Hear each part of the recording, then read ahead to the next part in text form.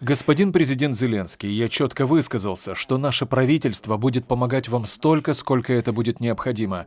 Канада предоставила приблизительно 9 миллиардов долларов в виде военной, финансовой и гуманитарной помощи Украине с начала агрессии Путина.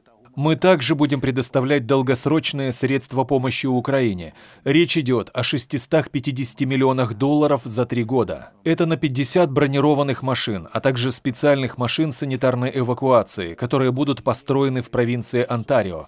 Мы также будем направлять инструкторов для F-16, а также техников для F-16, чтобы Украина могла максимально эффективно воспользоваться самолетами.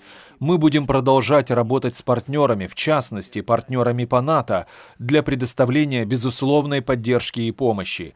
Мы будем предоставлять экономическую помощь Украине на протяжении следующего года, безусловно, для того, чтобы была мощная, динамичная и процветающая страна.